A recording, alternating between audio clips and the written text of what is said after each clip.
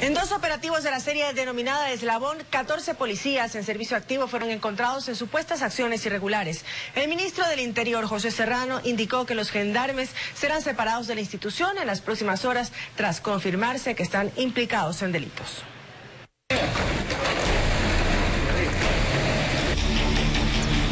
Eslabón 78 se ejecutó en la provincia fronteriza del Oro. Agentes de la Unidad de Delitos Aduaneros y Tributarios desarticularon una banda dedicada al presunto delito de contrabando que supuestamente contaba con la colaboración de nueve uniformados en servicio activo, entre ellos un teniente coronel, quien se desempeñaba como jefe de distrito Huaquillas.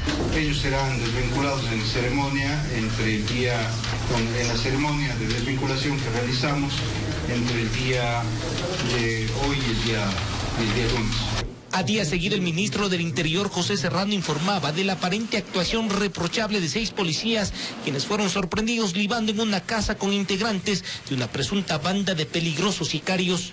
¿Cómo puede ser posible que policías uniformados estén libando con criminales que están siendo requeridos por la justicia. No lo vamos a permitir.